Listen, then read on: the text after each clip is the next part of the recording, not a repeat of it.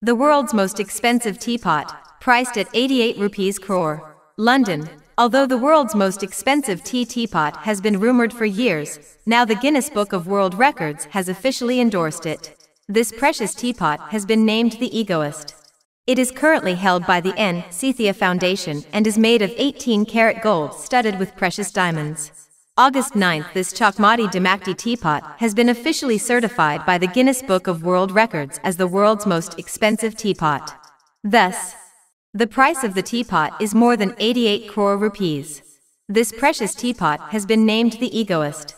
It is currently held by the N. Sethia Foundation and is made of 18 karat gold studded with precious diamonds.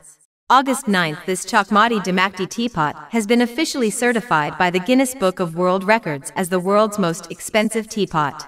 Thus, the price of the teapot is more than 88 crore rupees. According to the details, its owner is Nirmal Sethia, who belongs to India and currently resides in UK and also runs a foundation. This masterpiece teapot was designed by the famous Italian artist Fulvio Scavia, whose expenses were borne by Sethia's company.